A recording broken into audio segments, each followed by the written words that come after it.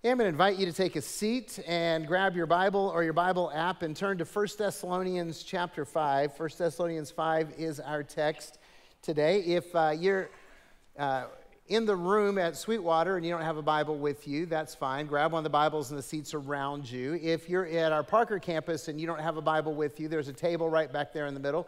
Go ahead and, and jump up right now and run back there and grab a Bible and turn to page 1174. It's 1174. And you'll find 1 Thessalonians 5, and you'll be able to follow along with us. And, and as always, if you are uh, in one of our campuses and you don't have a Bible and you want one, take one with you. It is our gift to you. We want you to have the Word of God, read the Word of God, because we know if you read and apply God's Word, God will change your life. If you're joining us online and you don't have a Bible and you want one, please notify us, email us, let the service uh, hosts know, and we will get you a Bible, whether we mail it or deliver it. We want everyone to have God's Word so that God's Word can change their life. Uh, hey, before we dive into the message, uh, I just want to say it is great to see you. Glad you are here. Uh, you know, having services on New Year's Eve and New Year's Day is a little bit different and weird. There's a lot of churches not doing it, and we just decided to go ahead and do it. So I'm glad you showed up.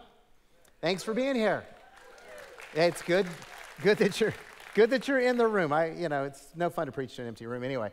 Hey, on January 21st, we're going to be having a vision meeting, a Calvary vision meeting, and everyone is welcome to come to this.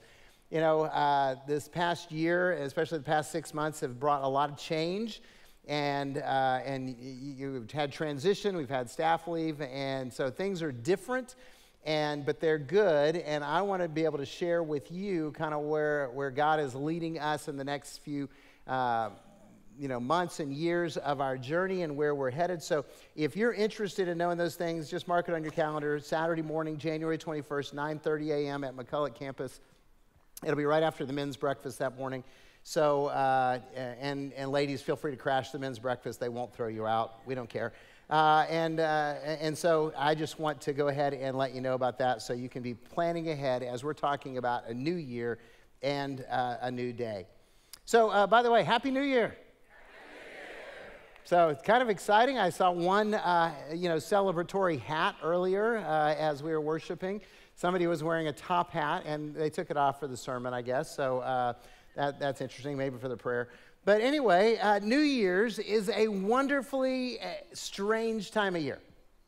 I, I, don't know about you guys, but for me, New Year's is kind of a wonderful and strange time of year because, on one hand, you've got parties, you got travel, you got family, you've got football, right? And all of it is mixed with this excitement and desperation. Let's just go ahead and call it what it is. We want the new year to be a good year, don't we? Is anybody hoping for a terrible 2023? Good. Okay, you, you, they're, they're at home. Uh, so, so we want it to be a good year, and, and we resolve to do better than we did last year. You know, we're coming out of a season of gluttony, so we vow to lose weight and eat better, right? Anyone with me on that? Okay, I see those guts. I mean, hands. Uh, we come out of a season of materialism, and so we vow to get out of debt and live by a budget for a change, right? Anyone saying, like, yeah, I need to do that, I need to get there? See, we, we, we want to do better. And so we briefly, because we don't want to spend too much time, we look back at 2022, we look at our failures of the past year, and then we just hope to change everything. And we succeed for a little while, maybe a month, maybe two weeks, maybe three days. so, today I want to share briefly how to finish 2022 and how to start 2023 inviting God to work in our lives. So, 1 Thessalonians chapter 5, verses 16 through 18. This is our text, and uh, I'm just going to go ahead and tell you right now, I think you ought to memorize this text. I think everybody ought to memorize this text. It's probably the easiest text to memorize. And then you can say, hey, I learned three verses this year. Right? Here's what Paul says as he wraps up this letter to the church at Thessalonica. He says, Rejoice always, pray without ceasing, give thanks in all circumstances, for this is the will of God in Christ Jesus for you. Now, I'm going to quote this multiple times in the service, and I learned it differently, so it's okay. I learned it rejoice always, pray continually, and in everything give thanks, for this is God's will for you who are in Christ Jesus. Okay, so that's how I learned it. So if I don't get it the way that ESV has it, forgive me. Because what I want to, by the way, I really am serious about, you can memorize that. Rejoice always, pray without ceasing, and everything give thanks. This is God's will for you. Right? You, you know what, these three things are God's will for you. So it, you can memorize that, and you, you don't have to. 1 Thessalonians 5 is easy enough to, to hang with uh, as well. So here's the, the first thing I want to challenge us to do is reflect on 2022 with gratitude. Just reflect on this past year with gratitude. That's the whole give thanks. After all, this is God's will for you who are in Christ Jesus. So if you believe that Jesus is the one and only Son of God and Savior of the world, and you believe that Jesus died on the cross to pay for your sins, and you believe that Jesus was raised from the dead, and you have made a commitment to follow Jesus with your life, then, then give thanks. Give thanks for God's blessings in 2022. Um, Give, give thanks for all those blessings that you had in 2022. And, and, and by the way, there, there's an old hymn, and I love the words. I never really was a big fan of the melody. I could sing it for you right now, but I'm not going to.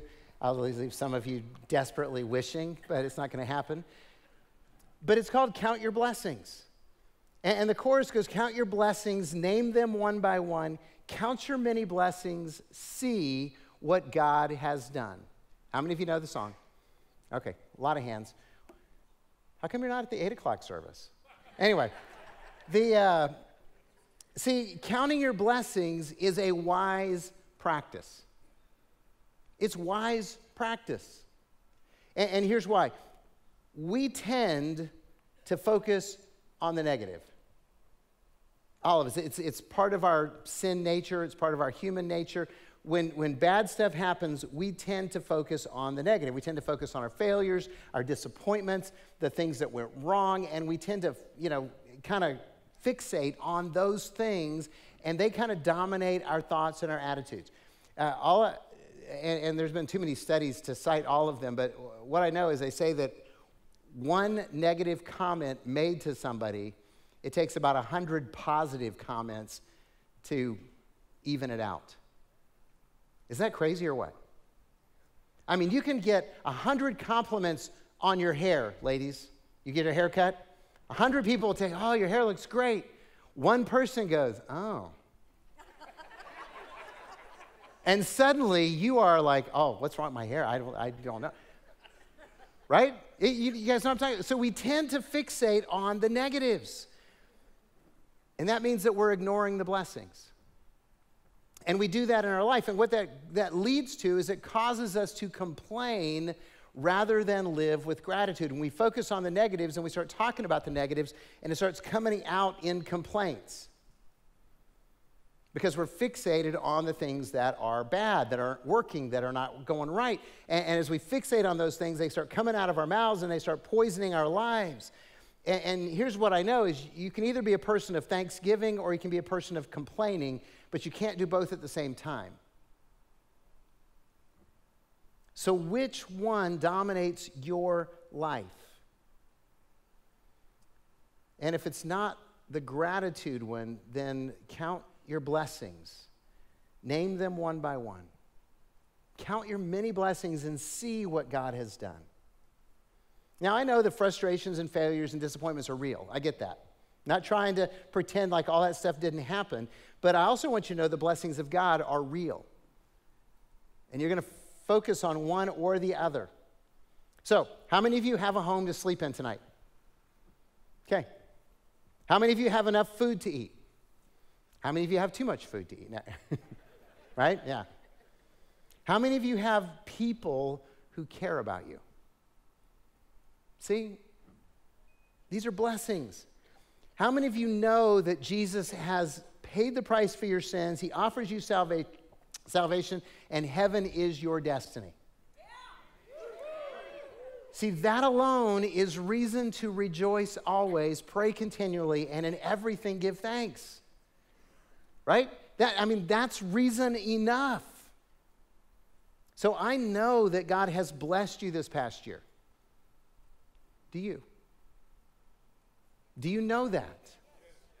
Well, I see, and, I, am asking because there's, there's a lot of times that we, we look back on the year and we think, oh, look at all this bad stuff that happened, and we fixate on that and we miss the blessings. So reflect on God's blessings and, and, and give thanks for them in 2022 and reflect with gratitude for God's redeeming power. God's redeeming power. Look, 2022 had its share of disappointments, betrayals, illnesses, losses, and failures. Funny thing is, every year does. Every year does. So remember them and then remind yourself of why you can still give thanks. And that reason is God's redeeming power. Uh, Romans 8:28, the apostle Paul says, "For we know that God causes all things to work together for good to those who love him, to those who are called according to his purpose." For we know that God causes all things to work together for good to those who love him, to those called according to his purpose. So if you love Jesus, then that means that God is working to redeem your life. Now, please understand, it doesn't mean that God causes all things, but you know, we live in a sinful world where lots of bad stuff happens, so it's not always that God did something. But God is always involved in your life, redeeming your brokenness, putting the shattered pieces of your life back together to make something beautiful out of it. That's his promise to those who love him. That's an amazing promise. And, and, so maybe you can already see some of the ways that God is redeeming your failures and your mistakes and your sorrows of 2022, or maybe it's too soon. But either way, God is working in your life so you can still rejoice because you know that it's going to get better because of his redeeming power. So let's reflect on 2022 with gratitude. And let's look ahead to 2023 with expectation. I mean, we're saying goodbye to one year, we're saying hello to another year. Uh, it's a time where we hopefully, well, we want a great year, but, well, let me ask do you want 2023 to be a great year? Okay, so we do. We want a great year. Then what are you going to do to make it happen? Then what are you going to do to make it happen? Because if 2022 wasn't all that you desired it to be, then what will you change to make this new year better? I know, it's kind of a sucker punch question, isn't it? We want it to be a great year. Now, what are you going to do to make it a great year? Um, see, the truth is, and this is hard to hear, but this is how most of us are default wise. I know I am. We don't want to change, we want the world to change. We want the politics to change. We want the economy to change. We want our boss to change. We want our spouse and kids to change so that we like the world around us better. So when we say we want it to be a great year, what we say, what we're basically saying is, God, change all this stuff so that I'll be happy without having to change me one bit. Okay, that's, that's our sin nature and how our sin nature thinks, even for those of us who are in the church. We want God to change everything around us so that we're more comfortable. Can I just tell you, if that's your expectation, it's not going to happen. You should prepare for disappointment. Okay, because all that stuff, it's going to change, but probably not in the ways that you want it to change. Uh, I, I, actually, I was writing the sermon and I read this joke, and I don't ever tell jokes because I'm terrible at telling jokes, but this one just stuck with me. And, uh, and so there was a lady, and she was praying, and she's like, God, I'm desperate. I'm, I'm in need you know, uh, I, I, I, don't have enough money. Uh, you know, my car is broken down. I need to get it fixed. And if I, because I don't fix my car, then I can't get to work. And if I lose my job, then how am I take care of things? God, just let me win the lottery.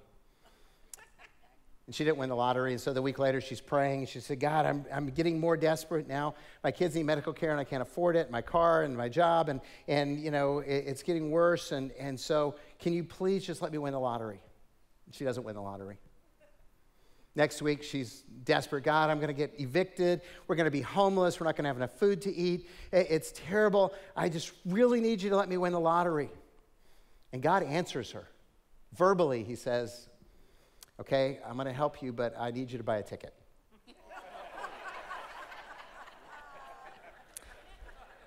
Now, just for the record, theologically, I believe that you can win the lottery without buying a ticket uh, if that's what God decides. All right, just just I, yeah, that's my conviction. God doesn't need us to do that. but it, it, it just caught me because now I'm thinking, you know what? God wants to do stuff in your life, and He's basically saying, hey, you're going to buy a ticket. Are you going to cooperate with me? So when we talk about looking ahead to 2023 with expectations, expect God to change your life. Expect God to change your life. But if you expect God to change your life, then you have to ask the question what's my part in this? So I'm just going to mention some things that if you want God to change your life, you need to be embracing these and pursuing these. Uh, I mean, the first one is um, read and apply the Bible. Because if you read and apply God's word, what's God going to do? Change your life. Change your life. Uh, that was great because I got a text today uh, from, from uh, someone here at Calvary who said, Hey, guess what? I just did something I thought I would never do. I read through the Bible in 2022. And I, I was like, That's awesome. That is so cool. And, uh, and then somebody else on the text thread said, Great, do it again. Which is what I was thinking, but I was trying to be more encouraging uh, in that moment. Because plus, I knew I was going to preach it tonight anyway. Uh, see, see, here's the thing uh, read and apply God's word. And, and the, in, in the church, people are much better at talking about reading the Bible than they are about actually reading the Bible. People are much better at talking about and arguing about things in Scripture than they are at reading and applying Scripture, which is why we have a problem with the way we live in the midst of our, our communities. And so I want to challenge you to, in 2022, to read through the Bible. Now, personally, and, and I've invited my life group, and by the way, if you're a life group leader, this is a great moment to you know, do that. But I've invited my life group, I've invited other pastors on the team to join with me in reading through the Bible. And I read uh, on YouVersion, so hopefully all of you have YouVersion. I do the Nicky Gumbel classic Read Through the Bible in a Year. Now, Nicky Gumbel is the guy who created Alpha. We use Alpha as a, as a teaching class. If you're new to faith, then Alpha is a great class for you to take. And it's got a devotion so that if you don't understand the scriptures, he can help you understand some of it. Now, if, if you're like, I already know what this is all about, then just skip the devotion and just do the Bible reading. It doesn't matter. But the thing is, you got to actually plan to do it. You're not going to just wake up you know, in the morning I go, oh, I should read through the Bible. What do I need to do to do that? None of us know how to do it on our own because uh, you don't know how many chapters you need to read and which. It's just it, do one of them. There's like a dozen you can choose from on YouVersion. But get with some friends, get with your family, get with your life group, and say, hey, let's do this together.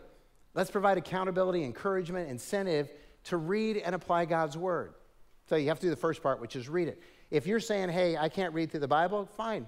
Read through the New Testament. Read a chapter of the day of the New Testament, and you'll finish sometime in, in September. Okay? That, I mean, that's, that's a goal. Set a goal and read and apply God's word. And if you want God to change your life, secondly, join a life group. Okay? Join a life group. We're going to have life group signups uh, starting next weekend and the weekend after that. We would love for everyone to be in a life group. We got most of you in life groups, but we want everyone to be in a life group.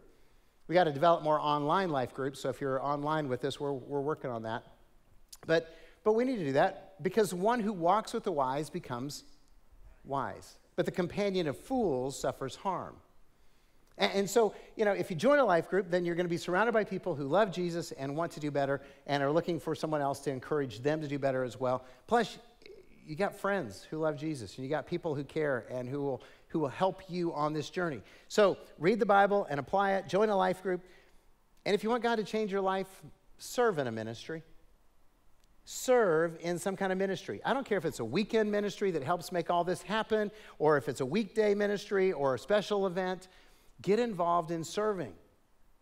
See, the, the, reality is, most of us are selfish in our use of our time, and we miss out on the union with Jesus found in serving others. Now, if you're doing those three things, reading and applying God's word, you're in a life group, and you're serving actively, you're probably already seeing God work in your life. You could probably affirm that and talk about how God has changed your life. Now, if you're not doing those things, I, I dare you to embrace these habits and watch God work in your life. Watch God work in your life. Oh, one more life changing choice that some of you need to make, and that is to repent and go to celebrate recovery. Okay? Monday nights, 6:30, right here at Sweetwater campus. Uh, you are welcome and you are wanted, and they can help you figure out some of the things that are holding you back from experiencing the goodness of God that you want to have. So expect God to change your life in 2023 and expect God to bless your life in 2023. See, God is with you if you're a follower of Jesus. God is for you, and God wants to bless you. Those are all great things. Here's the reality, though, because most of us, when we start hearing God wants to bless you and God, we want God's blessings, what we do is we fill out a list, kind of like it's Christmas, and we give it to God and say, Here's how I want you to bless me. so I've got good news and bad news. The good news is God wants to bless you, the bad news is He'll never do it on your terms. You don't get to tell God, Here's how to bless me. What we get to do is surrender to Jesus, follow Him, and He will bless us.